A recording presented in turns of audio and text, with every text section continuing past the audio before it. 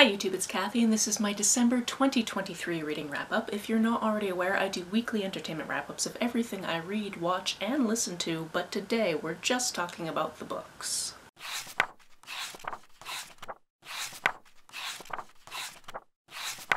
I'm going to start with my nerdy hardcore stats and charts and then get into what I read. Also, I put chapter markers in all of my videos, so if there's anything you need to skip over or go back to, all of that is down below. On your way down to check out the chapter markers, make sure that you're subscribed to this channel and hit that notification bell if you actually want to be notified when I post videos. This was my biggest reading month of the year because in December I read 20 things for a total of 6,368 pages. Thank you Queer Lit Readathon because half of those things I read in that one week. That takes into account converting audiobook minutes to pages, so about 1,215 of those pages were actually about 29 hours of audio, which is honestly the least amount of audio I think I've had in a month. The age breakdown for these books was 8 adult books, 11 YA books, and 1 middle grade book. I read 14 novels, 5 graphic novels, and 1 novella. This month I read mostly contemporary and horror, followed by mystery, thriller, fantasy, nonfiction, romance, and historical fiction. If you adjust by page numbers, not much changes. The biggest chunk of these books were from the library, but I did read books purchased from a chain bookstore and one from Kindle. I read 10 paperbacks, 4 hardcovers, 4 audiobooks, and 2 ebooks. The biggest chunk of my books were in the 300 to 399 page range, and most were published since 2020. Most of the authors were women, but there was a 40-45% split on male and female protagonists, with a non-binary protagonist, a dual narrative, and a non-fiction without a particular protagonist. In terms of setting, most of these were set in the US, but I had reads from the UK, other worlds, New Zealand, Jordan, and Palestine. In terms of diversity of subject matter, half were queer, which is no surprise given this month's round of the Queer Lit Readathon. Another quarter were intersectional, others had to do with race and mental health, and only two books had no diversity to speak of. In terms of star ratings, this month I had one 2.5 star read, one 3 star read, six 3.5 star reads, five 4 star reads, three 4.5 star reads, and four 5 star reads. Let's start with our lowest rated read and work our way up to the highest, shall we? Now my 2.5 star read this month is actually the second in a duology that I read this month, so I'm going to tell you what it is just so I can put it as a chapter marker, and um, I'm going to give you a little bit of why I didn't like it, but obviously being the second in a duology I can't really tell you all too much. That one is called Timberdark, it's the follow-up to Wranglestone, which I'll be talking about a little bit later, and basically I could have just done this as the one book in the series. This one had to do a lot with miscommunication or rather people just not talking to each other and then there were a lot of these like daydream like things where the character was just picturing somebody else pretty much in the nude and this happened over and over and over again and I just didn't need that. I got bored and mostly finished it because of the whole completist mentality. But if I was just a little bit more bored, I might have DNF'd. On to my three-star read, which is In the Ring. This is something I read for the Queer Lit Readathon, and this is about a character who's going to therapy and the therapist basically says, you should probably do something physical that might help you out. I want you to find a physical activity. She's recently had something kind of traumatic happen that she hasn't actually talked to her therapist about, and at that scene, the person who actually saved her from that situation is her next door neighbor. When she goes goes to a boxing gym. She finds out that that is the boxing gym that he also goes to. And then there's this budding will they or won't they thing going on as well as other things going on. This was just kind of okay. There was a lot of things to it that were just kind of convenient. I did enjoy seeing how these characters interacted and the situation that they found themselves in was a little bit to strain credulity, but it was kind of interesting and yes, it did make me want to kind of try boxing. However, that's not offered at my gym and I'm not getting another gym membership just so I can try out boxing. On my 3.5 star reads, the first graphic novel I'm going to talk about is Paper Planes. This is about two characters who have done something that we don't know what it is at the beginning of the book, and they've been sent away to this camp for delinquent youths. This was actually the first thing I read for the Queer Lit Readathon because I really like reading my shortest things near the beginning of that week. That way I feel like I've gotten through more things as we're going and it actually gives me a boost to the start of the week. So this being my shortest thing, that's what I read. And because this was basically 19 or 20 books ago, I can't really remember all too many details. Besides, I really enjoyed seeing how the characters got along with the other people in the camp and I really wanted to know what happened and how that was going to resolve. My next 3.5 star book is Wranglestone, which like I said is the first book, the one that's before Timberdark in the Wranglestone duology. The thing about filming during the week is uh, sometimes other people are up and about and need to shower, so if you can hear water rushing, I'm sorry, that's just gonna happen because I do not have time to film this any other time. Wranglestone really stuck out to me as something I wanted to read because the premise is that there has been a zombie apocalypse and there's a small group of people living in this national park called Wranglestone. They actually live on these little islands in the middle of this lake and they're fine most of the year except for during winter when the lake freezes and zombies can get to them much more easily. Our main character has a crush on another boy who lives on one of the other islands, but his father doesn't really like our main character because he sees our main character as weak and not really an outdoorsy type of guy, and it goes from there. I did enjoy many aspects of this. I liked seeing these characters get together, and there were twists and turns in this that I didn't see coming, but like I said, the second book I don't feel like it needed to exist. Next on my 3.5 star list is Crank. I mostly read this because it's getting banned in places and I wanted to see why.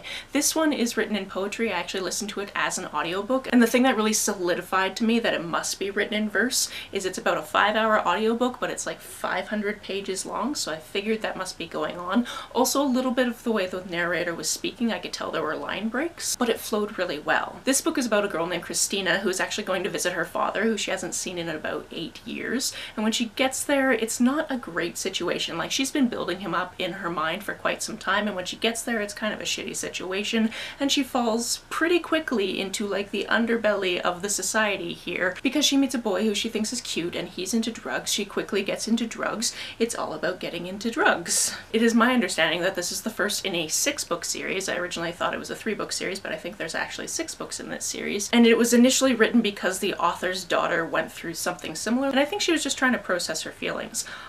I thought it was really well written. There were some things that are kind of dated and I wouldn't have written into a book like this if I were writing it now. For example, our main character has an older sister who is a lesbian and she kind of makes some comments about that that I could have lived without. And I'm sure there were other word choices that I had objections to. For context, this book did come out in 2004, so these would have been commonplace things even though they really shouldn't be because they're not great. Next we have Gorgeous Gruesome Faces. This is a YA horror novel about this person person who is really wanting to get back into the limelight.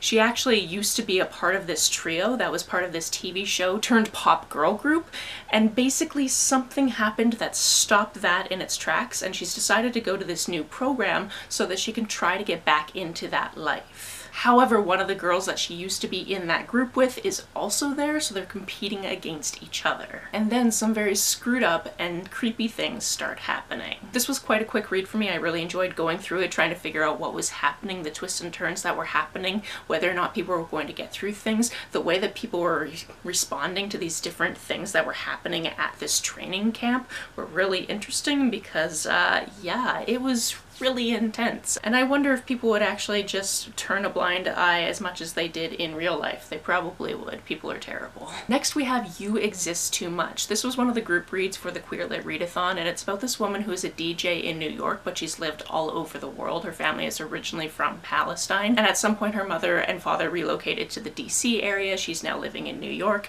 and she has this strained relationship with her mother because her mother doesn't accept that she's queer. She also has this love addiction so she's constantly just trying to be loved by other people, and that leads to her being quite a serial cheater, and she actually checks herself into treatment for this. This went in a lot of locations that I didn't anticipate because I'd like to go into my books not knowing too much about what's going on, and it was really written in these vignettes where you're seeing different points in her life and how they compare to different locations and times that she's found herself in. Overall, it was enjoyable and an interesting read and not something I would have necessarily picked up outside of this prompt, so I'm glad I read Next we have Men, Murder, and Makeup, which is the first book in the Drag Queen Detective series. And I kind of want to read the other books, but I've got so many other books to get to first. This one is about a man who is a hairdresser in this very small town. He's actually busy all the time because he's pared back his days at his salon because he owns it to only Saturdays, so he only takes on clients he really, really wants, and other people work the other days. And the thing about him is, sure, this is his job, this is what everybody in the community knows him for, but he also has a side gig where he's a drag queen at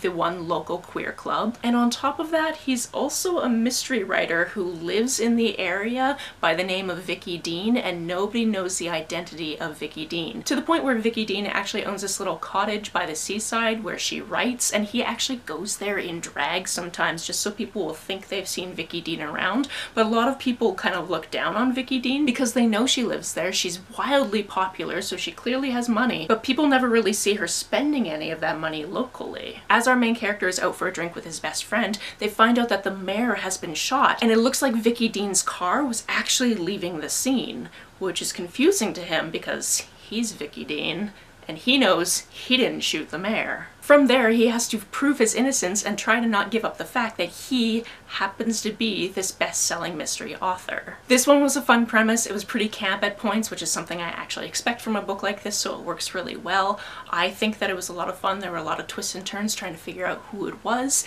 and there is a budding romance that would not work in real life uh, just because of professional reasons, but in a book like this, I was okay with it. On to my four-star reads, the first one being a graphic novel called Squire. This is about a young young woman who lives on the fringes of her society because of her ethnic class and she decides she wants to join the army to eventually become a knight because people know knights names they know their legendary weapons there's all these cool stories about them but to become a knight you have to first be a squire. This is all about training and political strategy but then also trying to figure out that what you're being told might not necessarily be the truth. You see the thing is that she's joined this army under kind of false pretenses because the people in her society actually tattoo tattoo on their arms that they're part of that society, but she's had it covered the entire time because people in this army actually look down on her ethno class. This one was drawn really well, it was an interesting story, and I definitely recommend it. Next, another fairly short audiobook, we have Thornhedge. This is by T. Kingfisher, and instead of this being horror, this was actually more fantasy,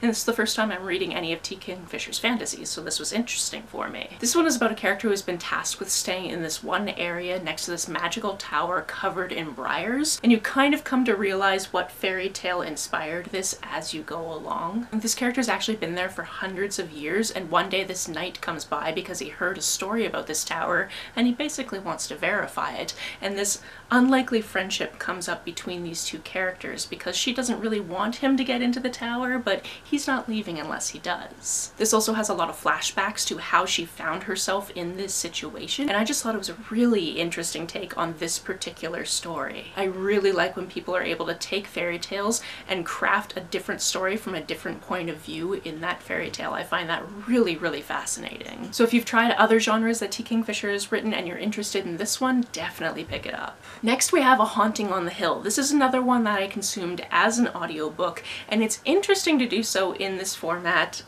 for a very particular reason. The story behind this one is our main character is this writer, she is a playwright, and she's taking time off to actually finish writing this one play. While she's on a weekend vacation with her girlfriend, she gets in her mind that it would be really cool to rent this really weird, creepy house in the middle of nowhere and bring some of the cast and crew together to actually work on the project. Now the thing that makes this interesting about listening to it as an audiobook is occasionally there are extra sound effects, but it's not all the way throughout the book. So there was a point where I was actually on a walk, I was just walking down the road, probably to the gym, and as the character is driving up to this house for the first time, I actually start hearing the sounds of a car driving behind me, and I look behind me and there's no car there, and that's something I'm really particularly watching out for because I don't trust drivers and there's no sidewalks on that road. So I always have my audiobook down enough that I can hear ambient sounds and if I need to get out of the way, I get out of the way. But as I look behind me, there's not actually a car. And that's because it was one of the sounds in the audiobook. Now the fact that they are actually rehearsing and producing a play with these kind of creepy songs to it is so interesting because that is found in the audio, as well as the fact that one of the people that goes to the house is an audio designer. And everybody who goes to this house, a different weird thing starts happening to them them. I thought this was a really cool take on a haunted house situation, and it was definitely in the category of messy queers. Next we have Candidly Cline. This was my middle grade novel that I read this month, again for the Queer Lit Readathon, and it's about this character named Cline who has music in her blood. She has music in her family. Her mom used to love playing the piano. Her grandmother and grandfather used to own a music shop, but when her grandfather passed and her grandmother moved in with them, they actually sold it. And her mother's been busting her butt working at this diner and finds it really hard to make ends meet, so she doesn't have a lot of time for things that are fun, like music. So when her daughter wants to pursue music, she's like, that's not going to pay the bills. I'm not paying for you to go to this class that you just learned about because no. However, Cline really wants to go, so she starts trying to figure out how she can scrape the money together and how she can actually get herself to this singer-songwriter class. She has a little bit of help from other women in her life to orchestrate this and keep it away from her mom, and when she's there, she meets this character that she ends up having to write a song with, and a budding relationship forms. This one was fun and cute, and I just love protagonists that are going for what they want in a creative field, so I very much enjoyed it. The novella that I read this month is The Only Safe Place Left is the Dark. This is a horror novella about this guy who is living in the woods. He's been living by himself for quite some time because about six months after he got to the woods, a zombie apocalypse broke out, and that's obviously changed the way the world works. However, shortly before he started living in the middle of nowhere by himself, he actually started taking a medication for his HIV, and he now needs to go out into the world occasionally to stockpile that medication. As this novella there is a knock on his door, which is just not a good sign, and this gets very bloody and action-packed from here. I don't know what it was about this month and queer zombie books, but here we are, and I very much enjoyed this one. It was just so action-packed. There was never a moment where it lulled, even when you were going back and kind of learning things about his backstory. It was just so full of emotion and just pushing the plot forward and I very much enjoyed it. On to my 4.5 star reads, we have Tim Tamaro and the Subterranean Heartsick Blues. This is about characters who live in this magic school in New Zealand that's actually underground. And there are different specialities of magic, so they're studying based on the different types of magic they personally have. As this book opens, our main character Tim has recently found out that his girlfriend is leaving him for this other boy. As he's feeling pretty down on himself, this guy that he's never gotten along with comes up to him and is like, hey, I heard about your girlfriend. She's now going out with my roommate, and I kind of had a situationship with him that is clearly now ended. So I think that we should mess with them. Tim doesn't really want to do this because he doesn't want anything to do with Elliot, but the way they end up deciding to mess with them is actually switching partners for a big project that is coming up. This project is something that I've heard high school students having to do before, and it's basically two people coming together to take care of an egg as though it is an actual creature as though it is your baby. That whole thing that happens in some high schools. But of course this is a magic school, so this egg is magically enchanted and will do things like cry or coo or whatever it needs to do based on what the parents are doing. Tim and Elliot kind of figure that the new couple are going to do really badly at this and it's actually going to break them up and they find that hilarious. But they come to realize that Megan, their egg, really likes it when both her daddies are present, which forces some proximity. This was really fun. Even though it's a fantasy set at a magic school, it was pretty light on the magic until they came to the realization that something happened and they need to use magic to fix it, but they don't know how. And I just thought this was absolutely cozy and delightful. Next we have Just One Bite, which is the North American title for the second book in the Hangman series. The Hangman series is about this guy named Timothy Blake. Actually, I think it's called the Timothy Blake series. The first book is Hangman. And he's quite an interesting character because he consults for the FBI because he's really good at problem solving, but the fee he collects at the end of that is actually a recently deceased corpse from death row because he is in fact a cannibal. Obviously this is not a well-known thing. People don't tend to know that this is the fee that he is collecting besides the guy that hires him at the FBI and this is a very interesting character to be in the perspective of for these books. In this second book his job situation has changed a little bit and gotten a little bit more complicated and somebody from the first book actually comes back into his life because he is given a new case. And this new case definitely gets complicated. I've really liked this series so far and I'm really sad that my library doesn't have books three or four so I'm gonna ask them to purchase them hoping that they won't just discard the two books that they currently have in the series because the last time I tried to get them to get a book from kind of an older series that was a little bit more obscure because I actually read I think the second or third in the series and I asked them to get the other books from the series and they just discarded the one copy of the one book they had rather than get the whole series which why? I mean, I get it, but also it's annoying. These books are fast-paced, filled with riddles. Every chapter starts with a riddle, so that's kind of fun. And you just want to know how he's going to get through this situation because you really shouldn't be rooting for him, but you kind of do in the same way that you root for Dexter. Finally for this category we have A Merry Little Meet Cute. Now this is a book that is co-authored by two authors I've read from before and I was delighted to see this pairing actually because Julie Murphy I come to think of as like quite cozy and fat rep and queer stuff and and I really like that. And then Sierra Simone is smut. I've only read smut by her. I don't know if she writes anything else. So seeing those two people come together for this book was just great. This was our mostly dual perspective novel. There is one other perspective kind of at the beginning and end of the book, but for the most point it is dual perspective between Bee, who is an indie plus-size adult film star who accidentally finds herself as a lead in a Christmas movie that's going to be shooting over the next two weeks because the guy that's actually producing this Christmas movie is actually also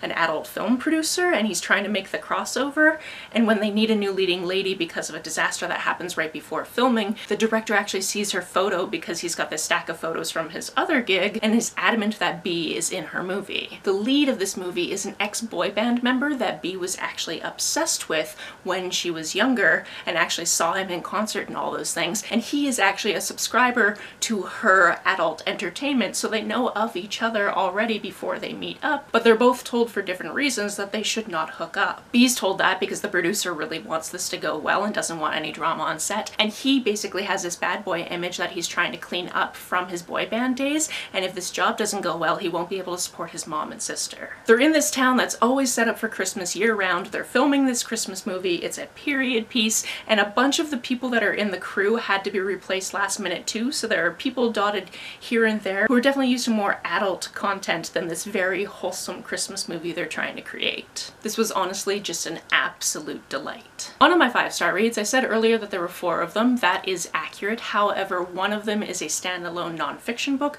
and one of them is three volumes of a graphic novel series, and either of them really could be at the top of this list, and I just kind of had to basically flip a coin to figure out which one I was going to talk about first. The first one is The Hundred Years' War on Palestine. This is an incredibly impactful thing to read, especially with what's going on in the world and what has been going on in the world when it comes to Palestine for over a hundred years now. I particularly asked my library to acquire this as an audiobook because this subject is quite dense and I knew that I was going to be able to process more of it if I heard it as an audiobook than if I were just trying to read it on the page. And I'm really happy to know that there's at least a couple of dozen other people that have holds on this audiobook so I'm glad that it could benefit our community because we had the e-copy and we had a print copy in our library but having this as a resource means that more people can consume this information. I want to be brief here so I'm not going to go into too many details but I found this a really good text to give you a background on the history of this area and I just want to say, Free Palestine, we are still boycotting St. Martin's Press if you're not aware. I have information about that down in the description below, and I really hope there's a ceasefire soon.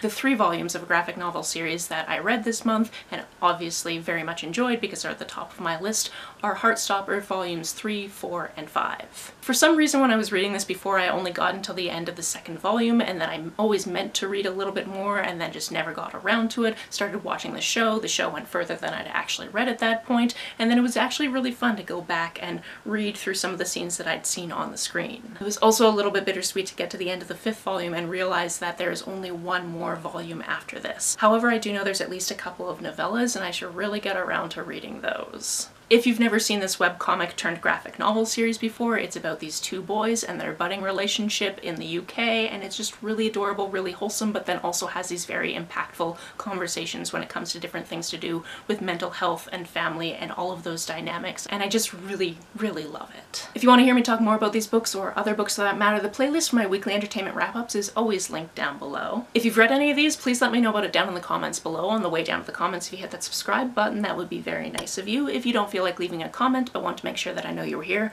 just leave me an emoji or smiley face if you happen to be on your keyboard. Some people have asked if there's a way to financially support this channel, so I set up a Ko-fi account, which is a digital tipping service. The link for that, as always, is down below. You can like and share this as you see fit, and I will see you very soon. Bye!